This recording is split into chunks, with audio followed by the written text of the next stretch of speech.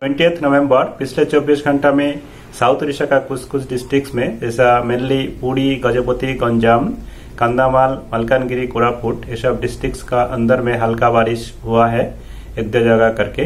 पूरी में highest rainfall हुआ 8.1 मिलीमीटर मिनिमम टेम्परेचर लोएस्ट हुआ है, पिछले 24 घंटा में हमारा प्लेन्स एरिया में टिटलागढ़ एंड फुलबानी में 18.5 degree Celsius hill station Daringbadi में था 15.5 डिग्री सेल्सियस और पिछले 24 घंटा में मिनिमम टेम्परेचर राइज भी किया है। भुवनेश्वर सिटी में 22 डिग्री सेल्सियस था।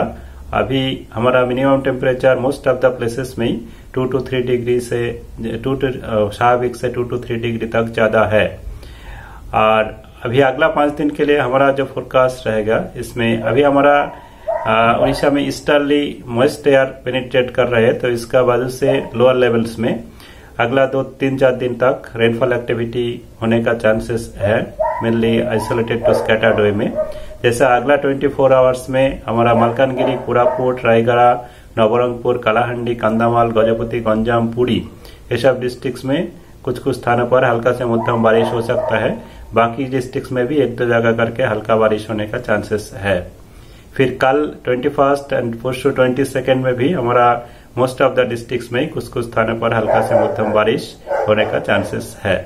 ट्वेंटी थर्ड में मेनली कोस्टल विषय का डिस्ट्रिक्ट्स केवंझर, मयूरभंज कंधामाल कलाहंडी, रायगढ़ नवरंगपुर कोरापुट, मालकानगिरी, ये सब डिस्ट्रिक्ट का अंदर में एक तो जगह करके हल्का से मध्यम बारिश हो सकता है, बाकी मोस्टली ड्राई वेदर रहने का चांसेस है।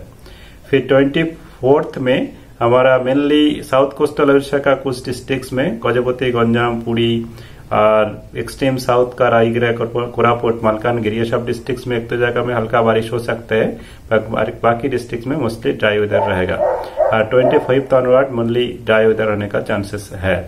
भुवनेश्वर सिटी में आज हमारा जनरली क्लाउडी स्काई होने का चांसेस है। कल, परसों का अंदर में अगला दो तीन दिन में हल्का बारिश भी होने का चांसेस है।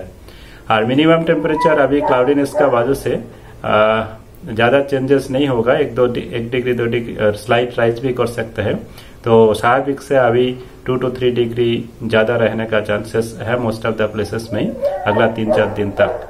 तीन चार दिन का बाद थोड़ा फिर ग्रेजुअल फॉल होने का चांसेस है।